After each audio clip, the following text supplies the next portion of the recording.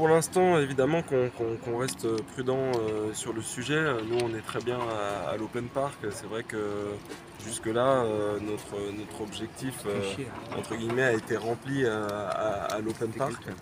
On a eu bah, déjà des, très beaux tournois avec des très beaux vainqueurs. on a eu, on va dire,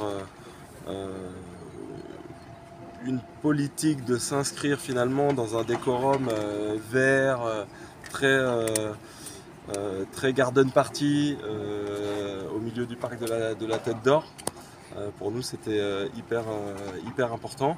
Après, bah, c'est vrai qu'aussi, on, comment dire, on, souffre un peu de, notre succès entre guillemets parce que, parce que bah, le soir c'est difficile pour nous de, comment dire d'optimiser notre, notre tournoi.